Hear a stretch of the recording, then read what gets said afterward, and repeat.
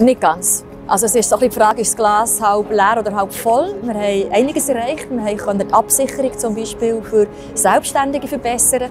Aber gerade in der Veranstaltungsbranche, äh, in diesem Schutzschirm, hat man doch Abstriche gemacht im Ständerat, die ich sehr bedauere. Wir hätten es besser machen können. Also ich habe mich jetzt sehr für die Veranstaltungsbranche eingesetzt, weil die ist vor einem Jahr stillgelegt worden aus volksgesundheitlichen Gründen. Und das ist äh, ein grosses Problem für uns alle, die ganze Gesellschaft. Es fehlen Orte, wo man sich treffen kann, Kulturorte, Meritorte, Volksfest, alles ist stillgelegt worden. Und für mich ist klar, man muss als Gesellschaft auch solidarisch sein mit all den Menschen, die von dieser Eventbranche leben.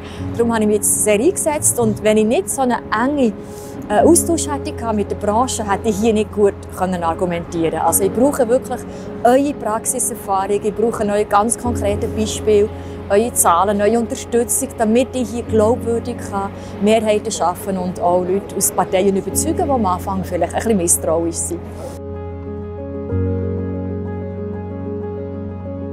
Also ich würde mich sicher freuen auf, auf, Festivals, also zum Beispiel das Baskes Festival im Sommer hier, äh, wo in Bern stattfindet. Das weiß ich nicht, ob wir es schaffen rechtzeitig, aber ich, ich bin da sehr offen. Ich gehe viele Konzerte, ich gehe auch an Sportveranstaltungen. Also für mich ist es wirklich ein Teil wo, von meinem Leben auch. Kultur ist mir ganz wichtig, aber einfach auch die Orte, wo ich Menschen kann treffen kann und mal äh, ein bisschen die ganze auch anstrengende Arbeit hier in der Politik auf die Seite lassen und einfach auch schauen, wie können wir weiterfahren, Perspektiven und Lebensfreude. Das, für das ist die Veranstaltungsbranche zuständig und ich hoffe, die können gleich wieder arbeiten.